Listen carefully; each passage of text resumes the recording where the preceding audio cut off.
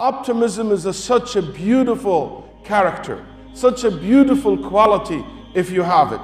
It's a quality that turn everything around and make you always feel empowered and strong. I know we're living in a time, as I said, tough time, hard time, politically, economically, uh, uh, uh, in so many areas. There's people can complain and point out here and there so many problems in individual level, community level, nation level, worldly level, you name it. But still, that sense of optimism should always grow strong as the problems grow strong as well.